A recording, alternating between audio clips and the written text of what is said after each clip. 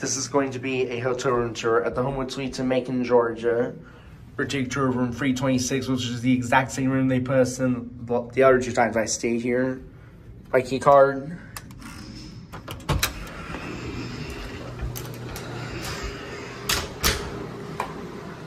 Fire evacuation plan. Sit down real quick. Here's the kitchen area. Here's the kitchen sink.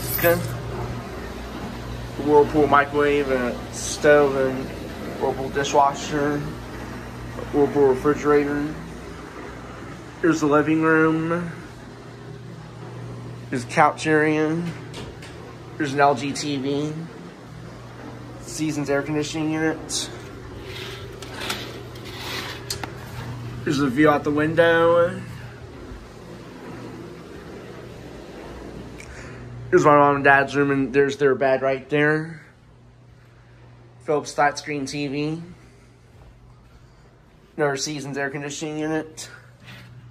Another look out the window. Hello. Logan. The sink. Conair 1875 hair dryer in there. Let's walk over to my room now. Here's two beds. This one's going to be my bed. Hello. Our sink. And for all your toilet fans out there, this is a Briggs bathtub and shower area.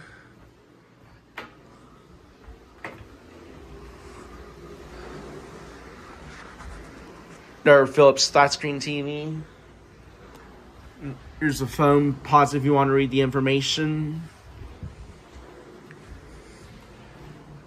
Distinctions air conditioning unit. Another look out the window.